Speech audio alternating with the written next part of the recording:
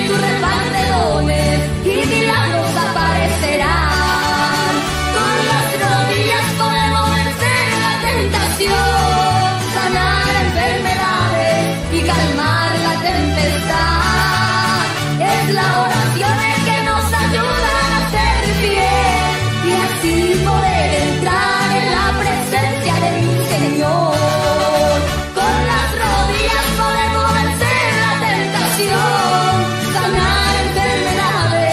calmar.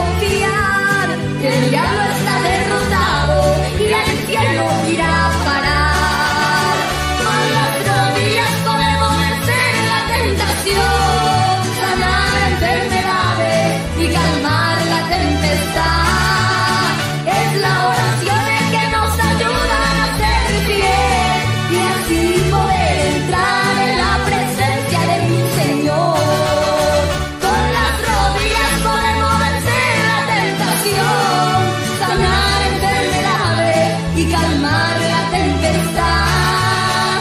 Es la oración.